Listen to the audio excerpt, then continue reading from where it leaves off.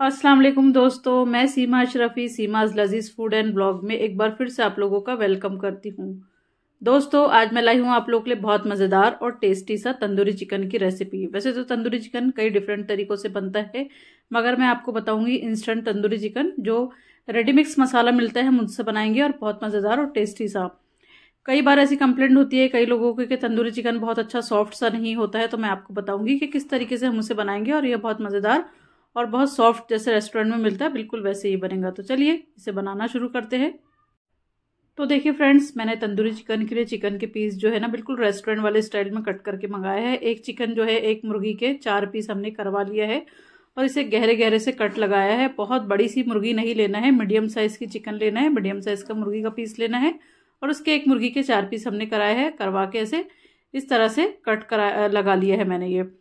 Cut मैंने घर में ही लगाया है, कट लगा के भी देता है शॉप वाला। तो देखिए, ऐसे गहरे से कट इसमें होना चाहिए। और ये रेडीमिक्स मसाला जो है, इसमें बना रही हूँ मैं।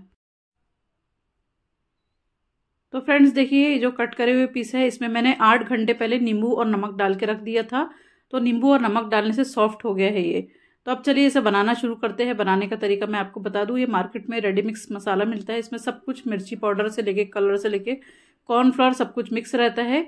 एक्स्ट्रा आपको कुछ डालना है तो आप एक्स्ट्रा टेस्ट के लिए अदरक और लहसन का पेस्ट डालेंगे। तो देखिए, मैंने दो बड़े दो बड़ी मुर्गी के पीस मैंने आठ पीस लिया था तो दो बड़े चम्मच इसमें अदरक लहसन का पेस्ट मैंने ऐड कर दिया है। साथ ही में मैं इसमें फ़ूड कलर और एक अंडा डाल दूँगी। तो मैंने फ़ूड कलर डाल दिया है, अगर आपको पसंद नहीं है तो आप नहीं भी डाल सकते हैं। इसमें मैंने एक अंडा डाल दिया अंडे से बहुत अच्छी सी बाइंडिंग आती है, मसाला बहुत अच्छा चिपका हुआ रहता है इसके ऊपर। तो बस हाथों की मदद से अच्छी तरह से इसे मिक्स कर लीजिए जहाँ जहाँ कट लगे हैं।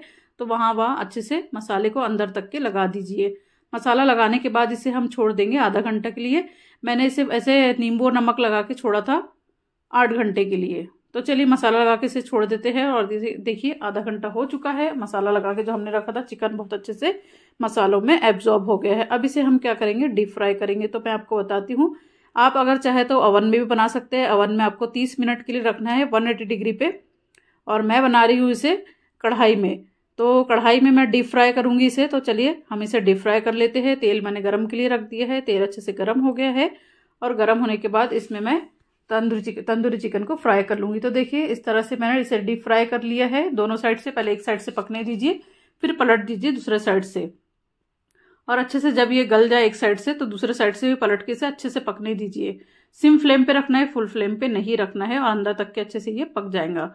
जब अच्छे से तेल में फ्राई हो जाए दोनों साइड से तो तेल से इसे बाहर निकाल दीजिए और मैं आपको सर्व करके दिखाती हूँ। तो फ्रेंड्स एक्स्ट्रा टेस्ट अगर आप चाहते हैं रेस्टोरेंट वाला तो देखिए ग्रिल जो मेरे पास है मार्केट में मिल जाती है, आप भी ऐसे इस टाइप से ग्रिल को ला सकते हैं। और ये देखिए फुल फ्लेम पे मैंने इसे तंदूरी चिकन को जो हमने फ्राई किया था फ्राई किए हुए चिकन को मैंने रख दिया है। बस एक सेकंड के लिए गैस को ऑन कर दीजिए, दूसरे साइड से फिर पलट दीजिए चिकन को। तो इस तरह से इसमें स्मोकी फ्लेवर आ जाता है। तो देखिए फ्रेंड्स, मज़ेदार और टेस्टी सा तंदूरी चिकन जो है बिल्कुल रेस्टोरेंट वाला टेस्ट इसमें आएगा और बहुत ही उम्दा, बहुत मज़ेदार बना है। इस तरीके से आप ज़रूर एक बार ये तंदूरी चिकन को ट्राई करिए। मिलते हैं नेक्स्ट वीडियो में। जब तक के लिए इजाज़त दीजिए। खुदा हाफिज़।